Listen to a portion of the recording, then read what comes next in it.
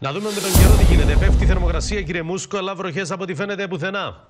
Καλό Γεια σας μεσημέρι. κύριε Κυριακού. Και Γεια ούτε σας. μεγάλη πτώση περιμένουμε. Μια Δηλαδή; μικρή πτώση αύριο, αλλά δεν περιμένουμε τίποτα εξωπραγματικό. Αύριο δηλαδή, πού θα κυμαίνεται η θερμοκρασία; Γύρω στους 20 στο εσωτερικό, γύρω στους 22 στα παράλια. Ελαφρώς πιο κάτω από σήμερα. Αλλά βροχές πουθενά, όπως είπατε.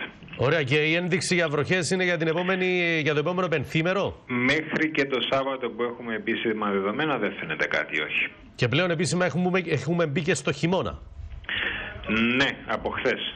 Από χθες, άρα αυτό να μας κάνει να είμαστε λίγο πιο αισιόδοξοι για το τι να έρχεται από πλευράς βροχών. Ή... Αυτά τα συστήματα πρέπει να τα δούμε όταν θα πλησιάσουν στην περιοχή μας. Άρα- Υπάρχει κάτι τώρα για της Κρήτης, δυστυχώς δεν πλησιάζει στην περιοχή μας.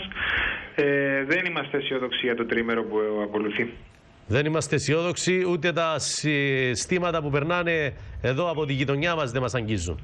Προς το παρόν δεν περνάει τίποτα, αυτό είναι το θέμα. Μάλιστα. Και η θερμοκρασία μικρή πτώση σήμερα και αύριο στην κανονική για την εποχή.